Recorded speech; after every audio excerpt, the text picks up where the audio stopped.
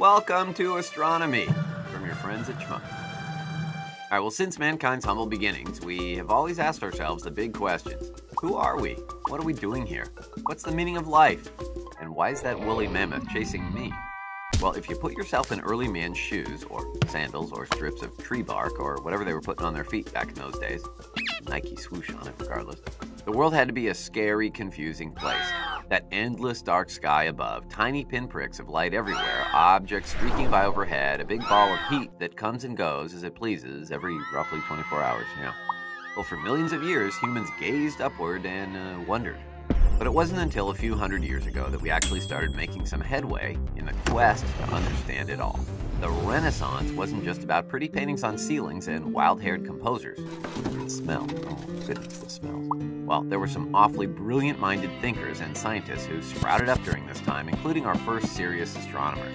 These guys were the first to take the brave stand that, uh, hey, maybe the Earth isn't the center of the universe. Uh, of course, as we all know today, the actual center of the universe is Kanye West.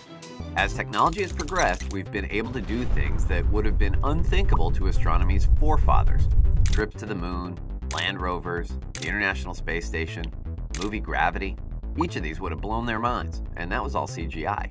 Well, the breadth of everything covered by astronomy is nearly as vast as space itself, but basically it's anything that has something to do with mankind's place in the great limitless expanse of space. It includes investigating the origins of our universe, physical exploration of the uh, final frontier, not with these guys, observation of astronomical objects from afar with the use of high tech equipment, and the attempt to draw conclusions from our data that help solidify our understanding of how all the pieces fit together. Well, ever since our species became a bunch of star nerds, we've discovered some fascinating stuff. Like the fact that a handful of our planets are just big gaseous blobs. We don't mean congressmen. And that everything on Earth, including ourselves, is made from what used to be uh, bits of stars. And how easy it is to fall asleep during a planetarium presentation. Wake up, guys, it's actually really cool stuff. But what are we specifically going to learn in this course? Well, man, you should do well in astronomy if you're this into the specifics.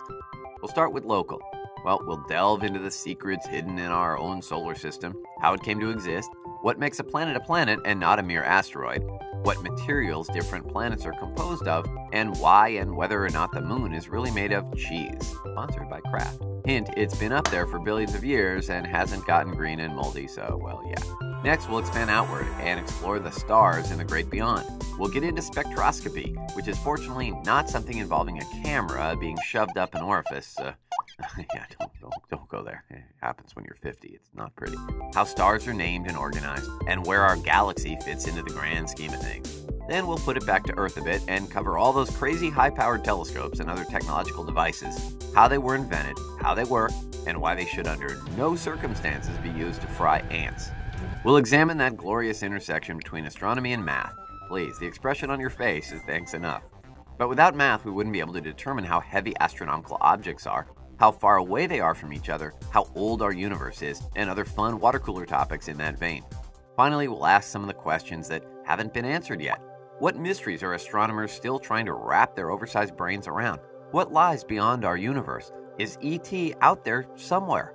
If so, is he now trying to text home? I like that. How's that for an ET invitation? All right, while you may never strap on a spacesuit and hitch a ride on a shuttle personally, the great unknown is something that interests all of us, and the pursuit of knowledge within the realm of astronomy is one we can all uh, get behind.